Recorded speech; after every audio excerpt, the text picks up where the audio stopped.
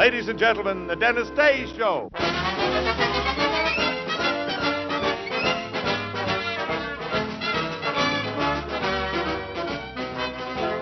Yes, it's Dennis Day with Robert Armbruster and the orchestra. And Dennis' special guests, Rosemary Clooney and Jimmy Durante. And now here he is, the star of our show, Dennis Day.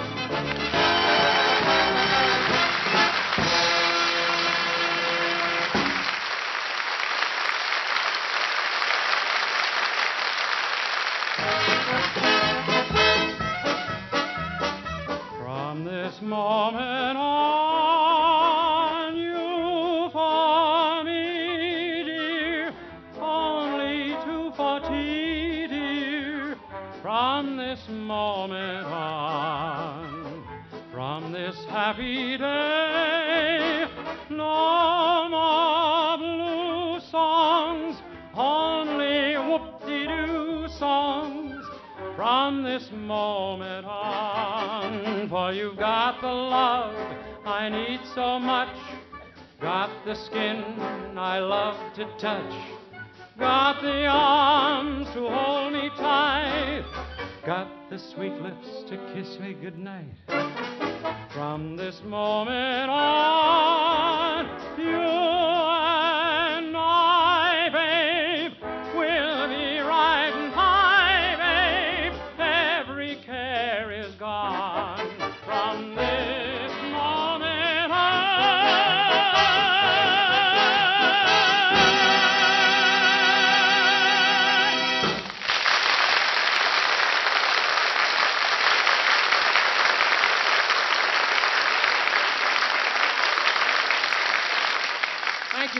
ladies and gentlemen. Well, this is a big night for me. A new radio show for a new sponsor is an important occasion, and to tell you the truth, I'm I'm a little nervous. Oh, come, come, come, Dennis. Why should you be nervous?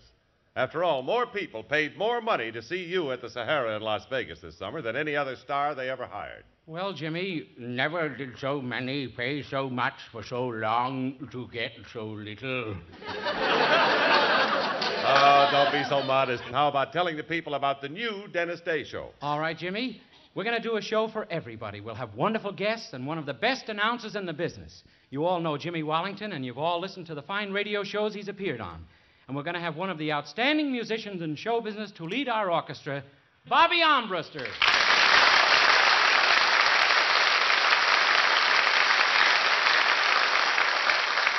Thanks. That was a very generous introduction. Well, believe me, Bobby, it was straight from the heart. To a singer, the music and the orchestra is everything. It is? Yes, sir. You're the most valuable member on this show. Boy, wait till I get home and tell my wife. She says I'm nothing.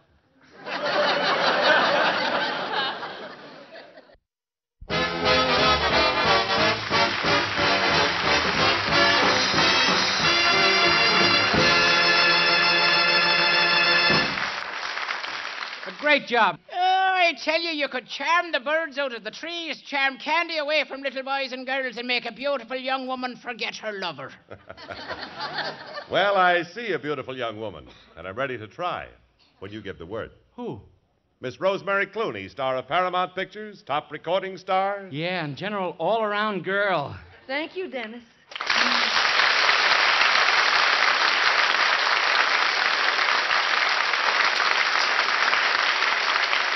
If there's anything I'm proud I am, it's an all around girl.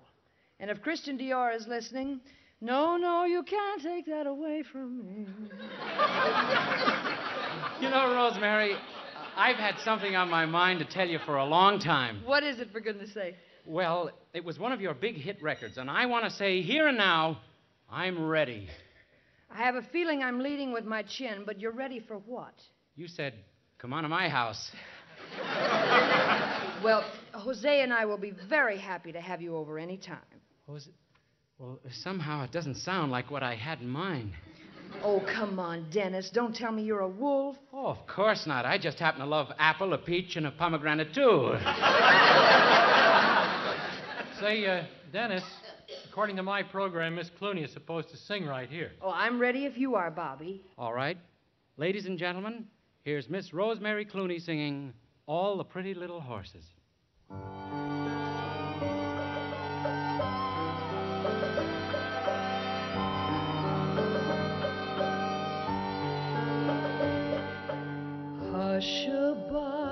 Hushabye, don't you cry.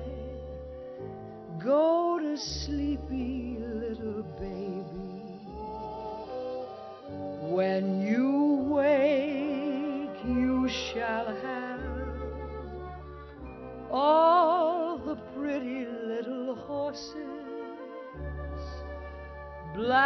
and bays, dapples and grays, coach and coachman, maybe. Hush-a-bye, don't you cry. Go to sleepy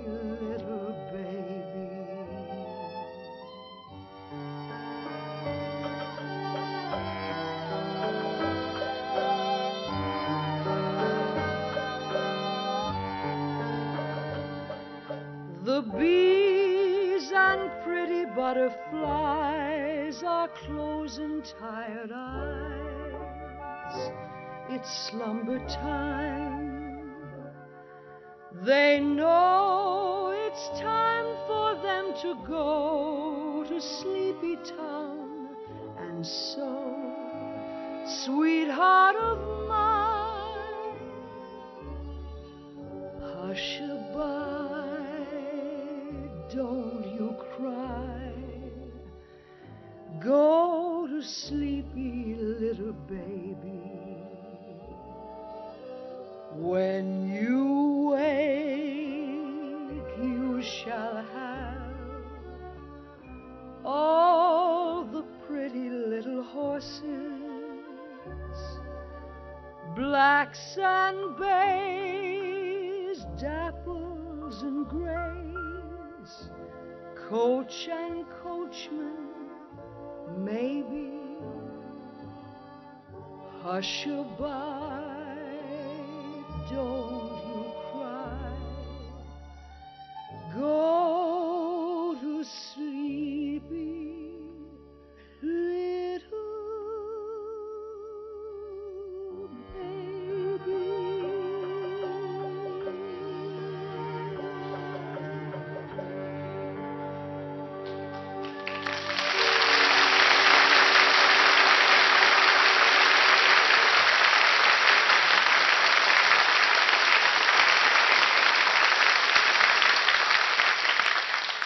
Miss Clooney, that was superb. Well, thank you, Jimmy. From you, that's a very high compliment.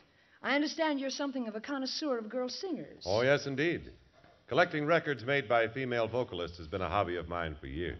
Oh, I had a hobby like that when I was about 16. Collecting records of girl singers? No, collecting girls. and speaking of girls, you and your sister Betty have the disc jockeys all over America talking about the Clooney girls.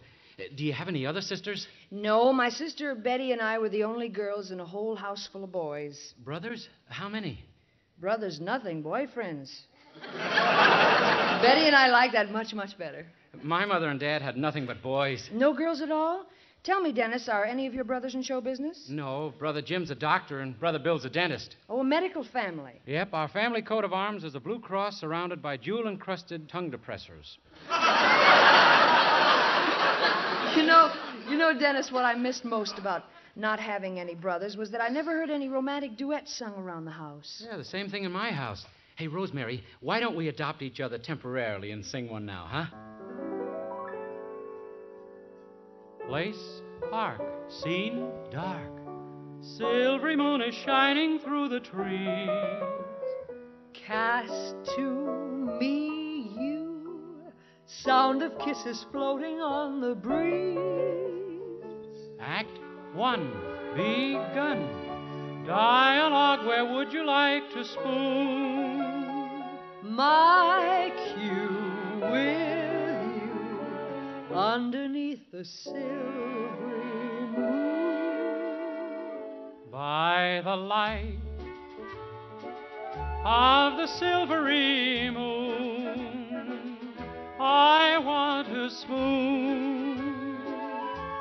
To my honey, I'll croon love's tune.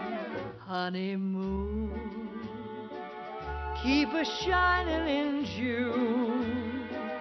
Your silvery beams will bring love dreams. We'll be cuddling soon. Be cuddling soon by the silvery moon.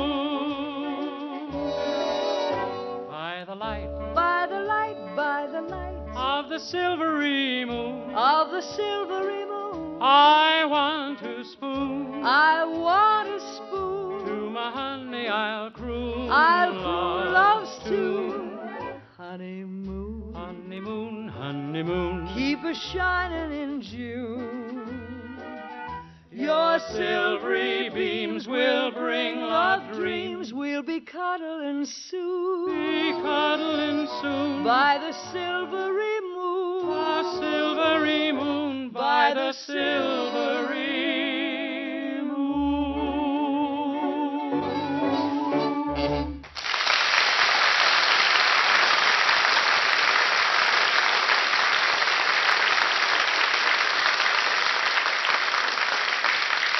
was real nice, Rosemary. Incidentally, I heard that duet you recorded with your husband, Jose Ferrer. You mean the two songs called Man and Woman? Yeah.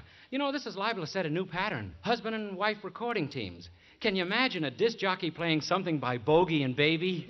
Or, or, or Lippy Durocher and Laraine Day? Or Tommy Manville and a girls' choir?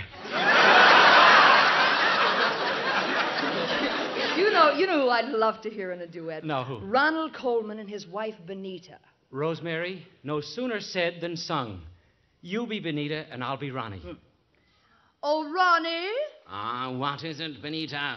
you're two hours late for our vocal rehearsal. What delayed you? Ah, Benita, my dear, I stopped off and played a few rounds with Ike. That wasn't cricket. It wasn't golf either. Well, now that you're here, shall we rehearse for our gramophone record? Now I'm ready. Act one, scene one. Couple meeting for a spot of tea. Ah, Act One, Scene Two. Will you pass the marmalade to me? May I give you something sweet to make your heart go bump? Ah, yes, dear. Yes, dear. All I take is just one lump By the light of the Manchester moon. We love to spoon while we're munching on the mac or roon. Then we'll flit Uh-huh. round the town for a bit. Ah, yes. And we'll be gone until the dawn. While we doggedly slog through the Manchester fog.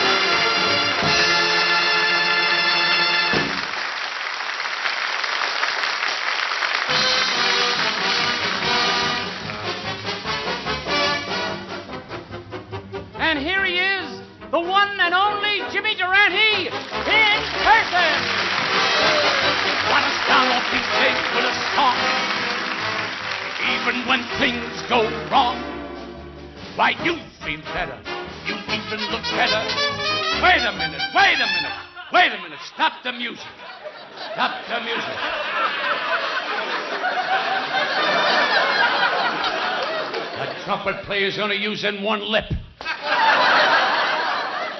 And now, and now Durante will sing the number one song of the day. Three coins in the fountain, each one seeking happiness. Stop the music, stop the music. Why should I make that song a big hit? You know, you know, if it wasn't for me, Hut Sut Ralston would still be paddling. Oh, Jimmy, you know your voice is sparkling, bubbling, refreshing, and as my friend Commander Whitehead would say, it has schweppervescence. Vesserance. Schweppervescerence? You know, I spell it for you, Dennis, but the studio closes at midnight. But that is neither Mama nor Chevis. I got it right, Mama Chevis. You know, Dennis, I brought over a song I composed myself, and I want you to sing it with me. Jimmy, you composed a song? I'll answer that in the negative. Yes. you know, for three months I worked on the song with the greatest musical songwriter of all time. Who, Berlin? Berlin? No, Umbriago. Well, let me be the first to congratulate you, Jimmy. Your song will probably be a big seller. Indubitably. You know, it compares with the sextet from I Love Lucy, the quartet from Rigor Mortis. Them words they're giving me here.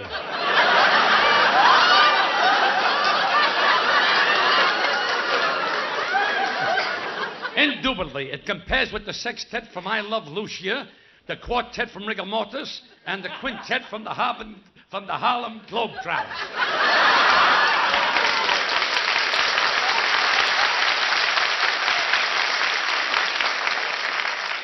Wait a minute, Jimmy. You're talking about classical music. If I remember correctly, you only sing popular songs. Dennis, your memory's bad. But, Jimmy, you don't have the type of voice for operatic arias. I always sing operatic arias. Your ears are bad. Oh, so you're a long hair. Your eyes are bad, too. you know, for your information, Dennis, this summer I electrified the Hollywood Bowl. You did? Yeah, me and three other electricians. I got a million of them, a million of them. Hardly had the ink dried on my manuscript when the offers started pouring in. Yeah? Rodgers and Hammerstein wanted my song for a show. Uh-huh. Darryl Zanuck wanted it for a movie, and I even got an offer from Liberace. What does Liberace want with your song? He needed the paper to light his candelabra. Brother George has such short fingers. tell me, Dennis, how did you and Umbriago go about writing your song? Tell me, Dennis. Give me my right name, even, will you, please? Just tell me, Dennis. Go ahead. James is the name. Tell me, Dennis. Ain't you got enough name in the thing already? But tell me, uh, but tell me, James. Sure. One, you? one more show with me, you won't be able to do a radio show. But tell me, James, how did you and Umbriago go about writing your song? Well, Umbriago borrowed a few notes from Cole Porter. He took some lines from Hoagy Carmichael, a couple of bars from Oscar Hammerstein, and some choice rhymes from Nick Kenny. What did he get? 90 days for plagiarism. By the way, Jimmy, what's the title of your song? I'm glad you asked, Dennis. Yeah? Because I've been waiting to say something about the songs they write nowadays. Sh-Boom, Oop Shoop, and Gilly Gilly Offen Pfeffer, Katzenellen Bogen by the Sea. now, what do those songs mean? Nothing. Now, when I write a song, it makes sense. Right, Jimmy, but what's the name of your song? Inka dinka doo. Say, Mr. Durante, What is it, Mr. Armsbrusher? it's, the- it's about this arrangement you gave me. Don't tell me there's something wrong with it. I orchestrated that symphony all alone. And it wasn't easy. I can't write. Well, I'm not sure the boys in my orchestra can play this. Son, you're too young to worry. Just throw that arrangement out to them musicians and let's take pot luck. Ka-dink-a-dee, a-dink-a-doo, a-dink-a-dee. Oh, what a tune. Oh, crony. Wait a minute, wait a minute. I heard my echo in this room. Well, what's so unusual about that? The echo sounds better than me. now listen. Ink, a dinkity, a dinkity. Wait a minute. Nothing. It's got the whole world spooning. Somebody is forging my voice. Well, it ain't me. Boy, you know, Dennis, you've been a tenor all these years. Is your voice changing? Who, me? My voice is the envy of the operatic world. I'm the Republican Party's answer to Margaret Truman. Wait. Wait a minute. Stop the music. Yeah. A fraud is being penetrated on the people.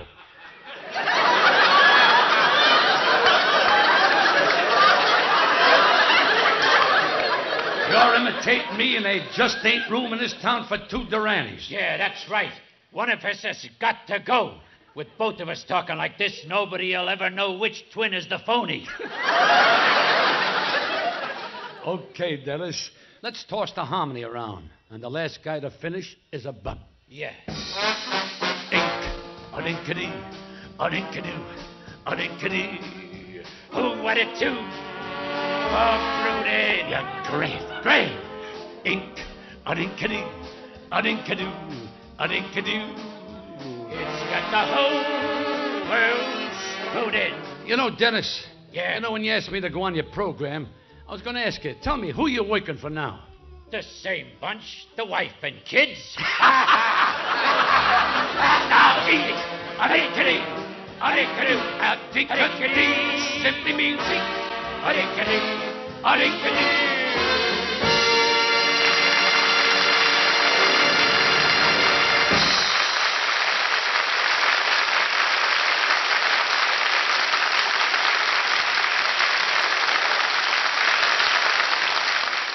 Oh, Jimmy, you sang beautifully, and your diction was flawless. Why not? I once took electrician lessons. now, wait a minute. You know, they spell these words wrong. Why not? I once took electrocution lessons. You did? You mean you took lessons in the proper way to speak and enunciate? You really didn't need them. I know, but they wanted to correct one fault. Yeah? They said I talked through my nose. you know, last week they told me to pronounce the word anti-dresser establishment Tazarism. But it was no use. I still talked through my nose. Well, how did it sound? I don't know. It hasn't come out yet. Jimmy, I I don't think you ever had an elocution lesson in your whole life. Rosemary Cooney. You know, Dennis, my boy, you've been holding out on me. You had a beautiful woman here, and you had your boys hold her back. Next time, let her go. I'd like to fight 'em off myself. Jimmy, you're the most attractive man in Hollywood. Let's not hash over the same old story. What's new? Now, wait a minute, Rosemary. Do you really think Jimmy is the most attractive man in Hollywood? Of course I do. Look at those beautiful romantic eyes of his. Close together and beady, but bubbling over with sex appeal. Look at that, look at that wonderful nose. To the men who climbed Mount Everett, you'll never plant the flag of England on this peak. All right, Dennis, go about your business and sing. I'm going to hum to Rosemary in a quiet corner and just plain drive her crazy. What a catastrophe this is.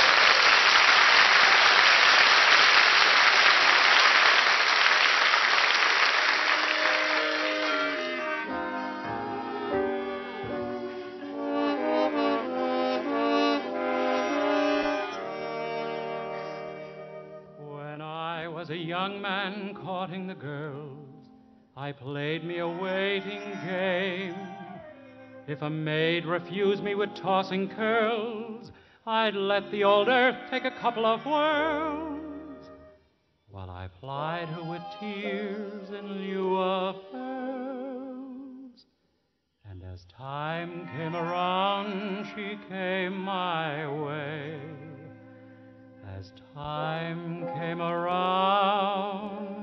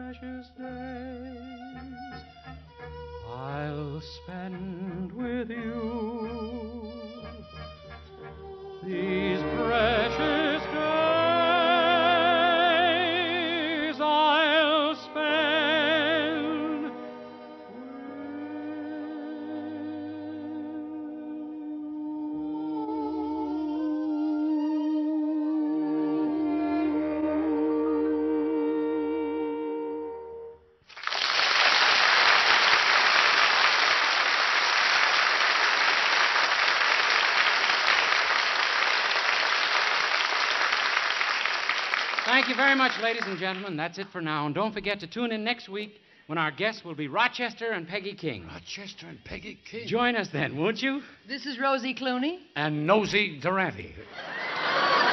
and ring around the rosy nosy day, saying, Every song that I sing, I'll sing to you, and I hope I can bring